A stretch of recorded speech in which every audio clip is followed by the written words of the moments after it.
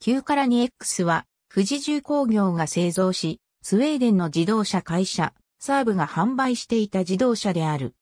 サーブは2000年にゼネラルモーターズの完全子会社となり、また GM は富士重工業にも資本参加し株式の20%を所有していたことから9から 2X が企画された。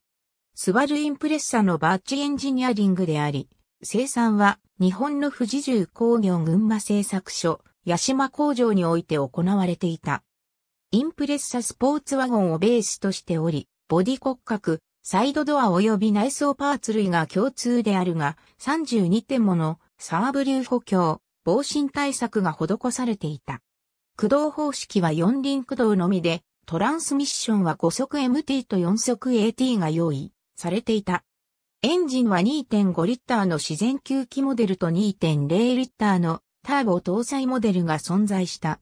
富士重工における生産は2004年中に開始され、北米に輸出された。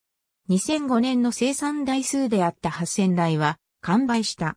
また、米国道路安全保険協会による安全性能評価では最高評価を獲得していた。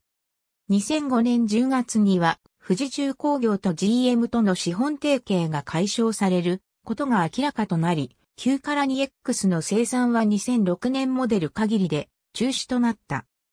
ありがとうございます。